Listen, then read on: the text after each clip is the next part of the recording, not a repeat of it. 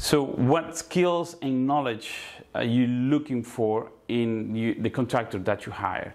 Well, the most basic one is they need to be able to run wires uh, to any location.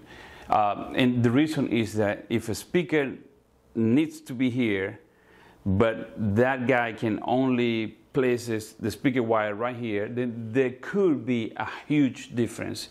So you want the speaker to be in the correct location. So running the wire is very important without having to cut unnecessary holes.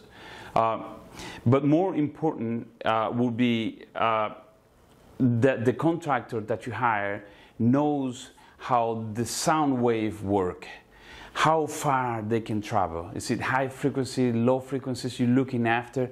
How where will the sound uh, touch the wall and bounce back?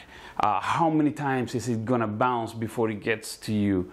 Um, what's the time uh, between the first time you hear something to the last time you hear the same thing. Uh, your ears, if it's done correctly, your ears will not notice that there's a time delay or there's a little bit of reverberation. But if, if you have a good ear, you will notice that. You call it distortion. So it's important that you get that right. Uh, uh, on the video side, you need to know that the best screen size is not the biggest that you can place on that wall. It, uh, you have to uh, know that there's uh, a calculation done. So talk to your contractor, ask him what screen size is best for this.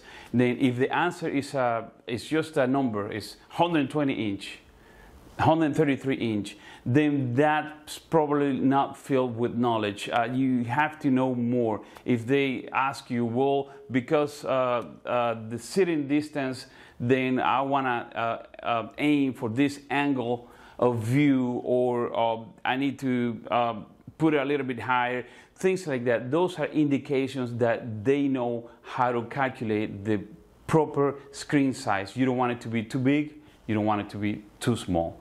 So those are uh, three skills and knowledge that uh, your contractors need to have.